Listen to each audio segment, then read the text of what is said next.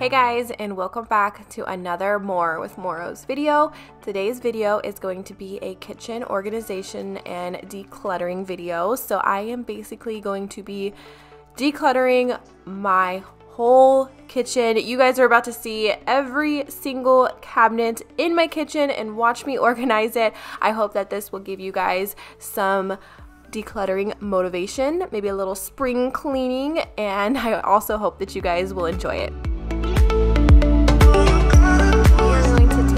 Quick intermission and thank today's sponsor for the day, Obode. You guys have seen me go through countless robot vacuums, and as much as I did love them at one time, the Obode P8 robot vacuum literally does it all. And with five kids and three dogs, our hardwood floors get pretty dirty on the daily. So on days that are extra busy for me and I don't have the time to vacuum or mop myself, that's where this vacuum comes in handy, especially on days like today where I was focused on cleaning and organizing our kitchen. And also it was so easy to set up. It took me less than five minutes and the best part is that this vacuum is self-cleaning and has a drying mop. None of the other vacuums I had in the past had that feature. As soon as I started it, it already started to map out the downstairs layout and I can also vacuum and mop at the same exact time without changing out any attachments or if I want to just vacuum, I can do that or just mop if I need to. It also has auto water replacement, so all you have to do is fill up the clean water tank. It cleans itself and you just dump the wastewater tank when it's full. Before I started using my Obode P8 vacuum, I went ahead and filled up the clean water tank, added the solution that it came with, and let it do a full cleaning and wanted to show you guys the waste water. Like look at how dirty our floors were. So it's just, just so satisfying to see that. But when it goes back to the station, to charge. It will go through a washing process. It will clean itself. And then you guys, it will also dry the wet mop as well because it can get moldy if they're not dried. Obviously it's wet so this function allows the mop to prevent mold. Also speaking about the mop, the P8 is actually mopped by two circular rags which is cleaner than ordinary rags. I had to get a close-up view just to show you guys how well it is cleaning our hardwood floors. I also wanted to show you guys that you can control so much through the app. You can do virtual walls, no-go zones, no mopping zones, just section off that area. You can even schedule cleanings from the app and you can also do suction control, water control, vacuum only, mop only. You guys, there's so many different options. So this was the dustbin after doing a full cleaning. I'm showing you guys how nasty our floors were. You guys can see dog fur, crumbs, dirt, all kinds of stuff. But what I loved is that it was able to vacuum the whole floor downstairs on one single charge. So the cleaning range is up to 200 50 square meters, so there's no frequent charges at all, and it has a long lasting cleaning service. So what was really nice is when I was unboxing everything, it came with an extra set of brushes and mop cloths and a filter. So I thought that was nice whenever I needed to change it out. It already has a second set that I can use. If you guys want to check out the Obode P8 vacuum, I'll leave the link and all of those details in the description down below. And again, thank you so much to Obode for sponsoring today's video.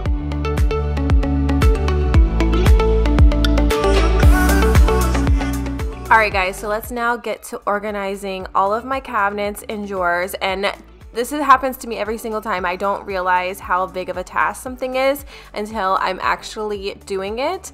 So this actually took me two days to organize the whole kitchen. You really start to realize how much crap you have once you start going through it all. So I basically started on one side of the kitchen and just worked myself down. So I'm starting, you guys can see, with all of the kids' stuff. I also didn't realize how much the kids had as well.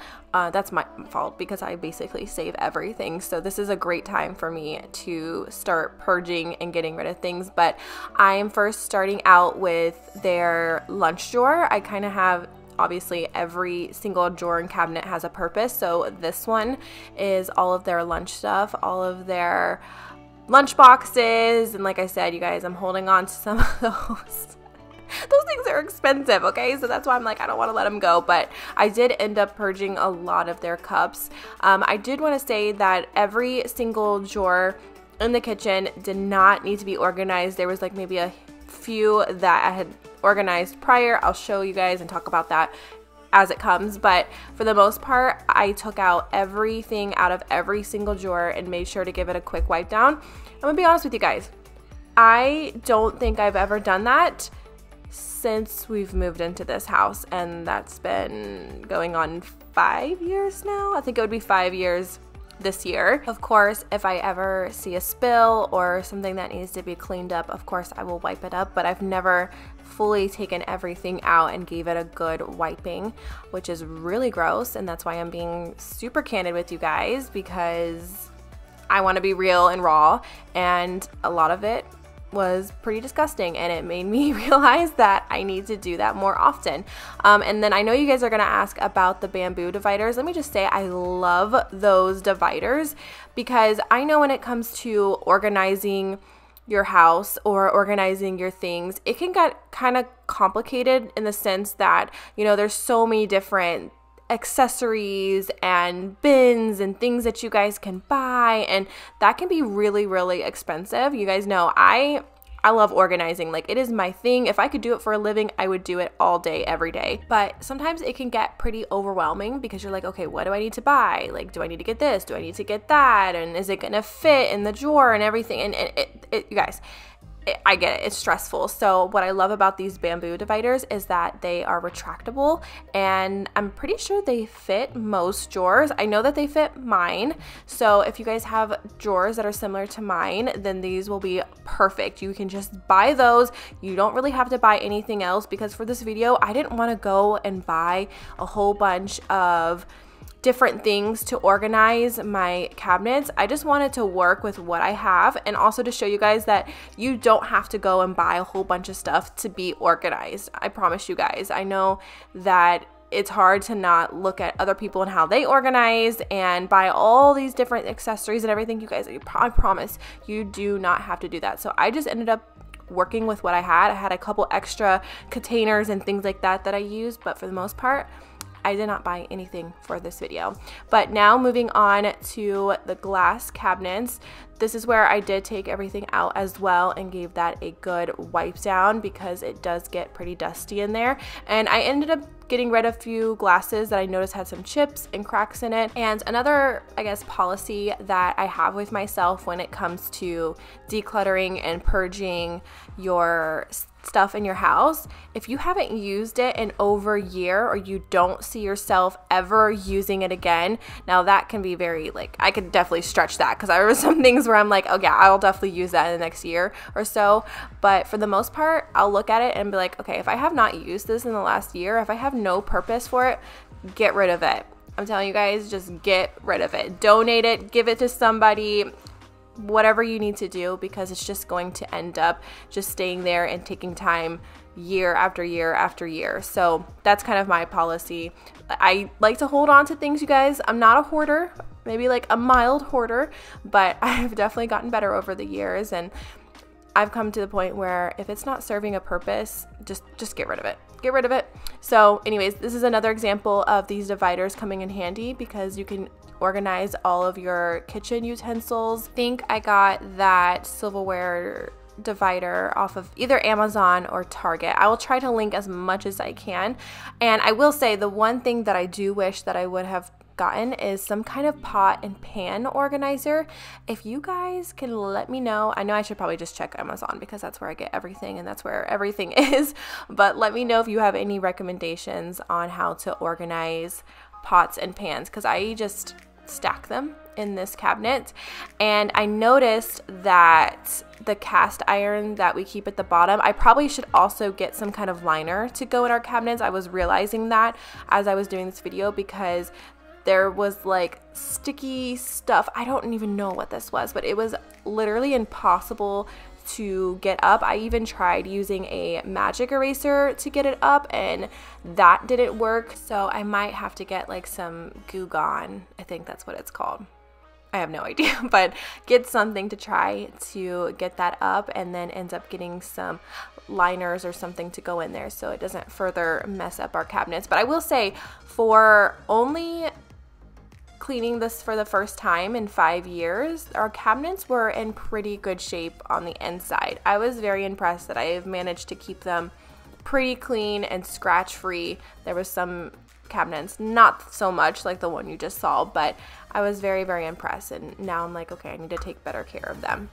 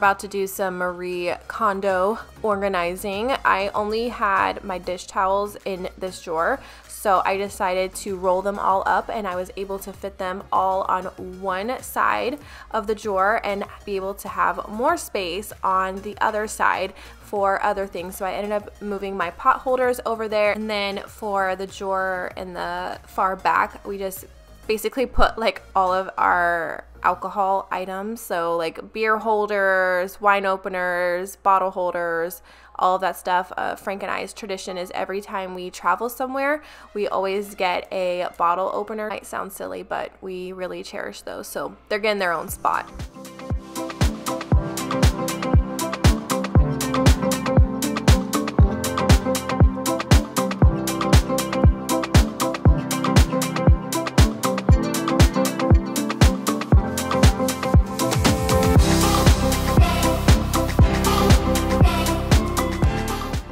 So this was an example of a drawer that was already organized. So I actually just left it the way that it was and just kept moving.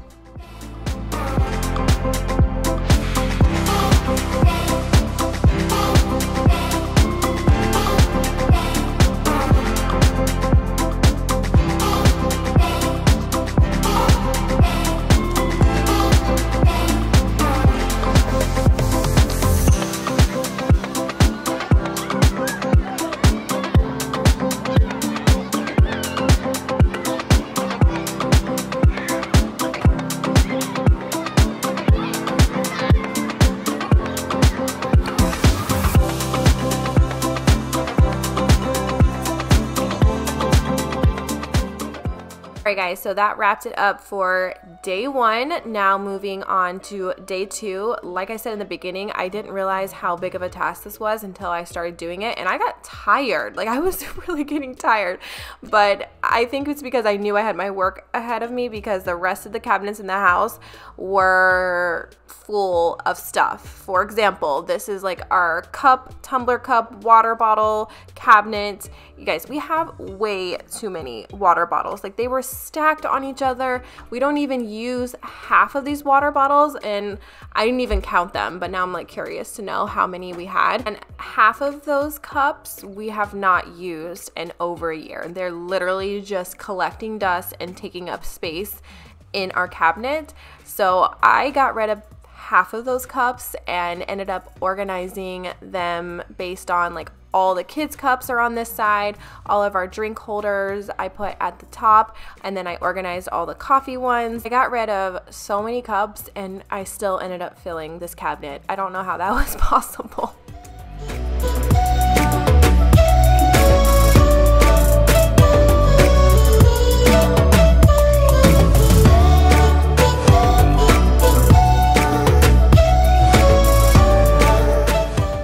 have this cabinet that is underneath our stove that I just put all of our kind of like our bigger kitchen appliances, which I actually ended up getting rid of our old toaster, not the green one that you guys saw, but one that we have not used again in over a year because we got the new toaster. And I'm like, why is it still in here? This is what I'm talking about, you guys. Going through everything will show you that you have stuff in there that just takes up so much space that you haven't used. And another thing, Tupperware. How many of you guys right now in your Tupperware cabinet have like missing lids or lids with no bowls? I didn't realize that. I thought that that was actually pretty organized until I actually went through every single container and realized that I just had other containers in there that was just taking up space because it didn't have a matching lid or I don't have the bottom it anymore. So I'm just going through all of that and matching up lids to the bowls and getting rid of whoever doesn't have a partner. It's kind of sad, but it is what it is.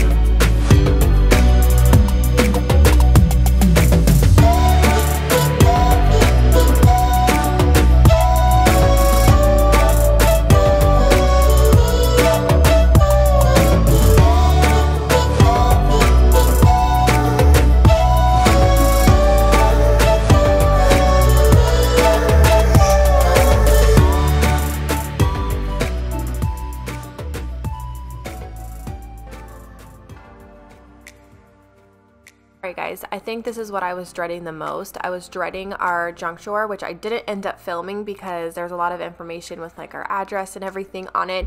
But this is how it turned out. I ended up putting those dividers in there as well. It's not the most organized because it's a junk drawer, so it still has junk. But I was able to throw away a whole bunch of stuff.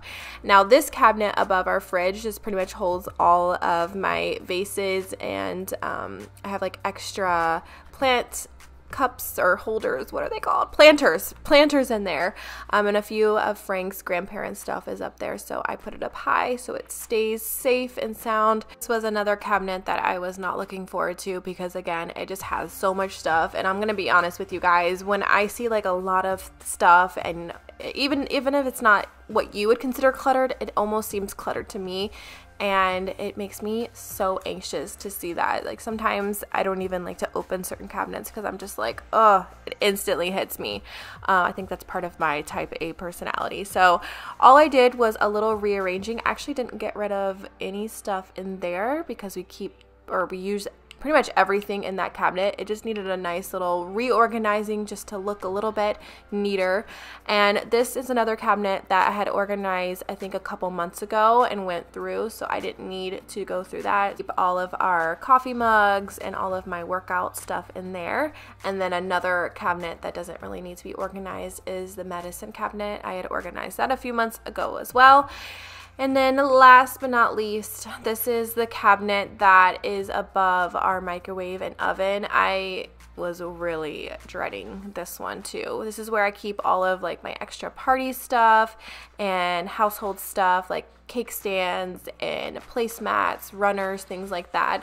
I have just basically stacked things up in there. I honestly didn't even know where to start because there was so much stuff in there. I don't know if you guys can really tell by this angle, but I had so much party stuff in there. I even had baby food silicone holders from when Aria was a baby that I'm like still not wanting to let go of. But I actually ended up getting so frustrated because I felt like I was playing with Tetris with everything and Frank was trying to help me, you know, take everything out and rearrange and I'm like I literally don't know what to do because I use all of that stuff for like kids parties and things like that and I was just like, I was so over it at that point, you guys. So I turned off the camera. I was able to find a way to organize it where it looked okay and a little bit neater. So this is how it turned out. And that is actually the end of this video. It actually feels so good, even though it was a really big task. Really didn't realize how long it was going to take me and how much energy I was going to have exert for this, but it feels so, so good to finally have everything organized. And like I told you guys, this is going to be a new series where I organize different parts of my house. So let me know what you guys would love to see me organize next. Leave that down below in the comments.